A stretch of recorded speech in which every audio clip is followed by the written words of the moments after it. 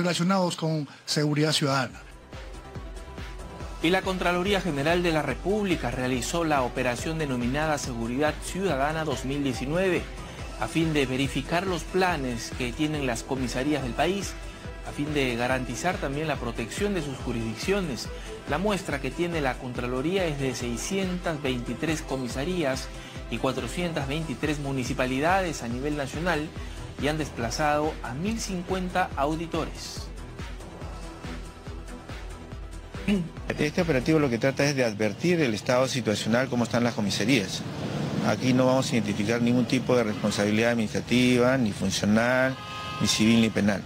Lo que estamos viendo es advertir el estado situacional y luego de eso se va a dejar un informe a cada comisaría, al Ministerio del Interior y posteriormente se va a convocar a través de nuestro Contralor una mesa de trabajo con todos los involucrados. ¿Qué tiene que saber la población respecto al trabajo que están realizando también y si tienen, digamos, alguna consulta, alguna duda, alguna denuncia? Bien, como ven, nosotros lo que estamos viendo es el control y la ejecución adecuada en los presupuestos del Estado y tiene que ver con la atención que se da a la ciudadanía.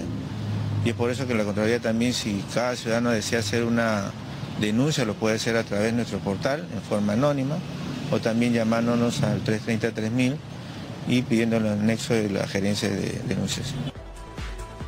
5 de la tarde con